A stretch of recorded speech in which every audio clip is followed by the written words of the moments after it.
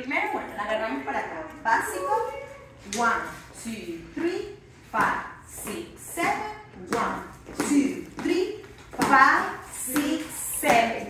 ¿Sí? Cuando quieras hacer ese túnel, en el momento que la chica gira, tú colocas la mano en el hombro de la mano donde ella está girando para que ella sienta que tú vas a querer venir a atrapar aquí.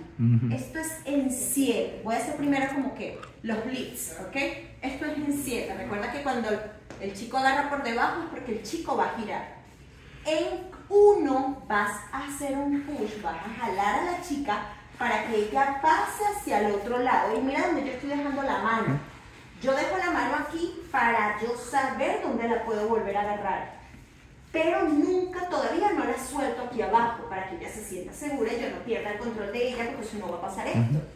Me quedo aquí, le voy a hacer un doble insertor, pero inmediatamente antes de que ella termine su giro, ya yo la agarro para que ella sienta que yo estoy aquí. Sí, la voy a hacer con los pies. 1, 2, 3, 5, 6, 7, 1, 2,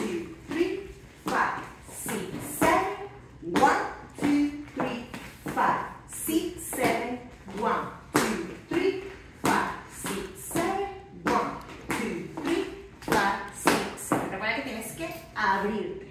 Siete siempre va a ser frente a ella. Abres en uno. ¿Sí? O en crossbody normal. Siete frente a ella. Abres en uno para poder impulsarla. Aquí.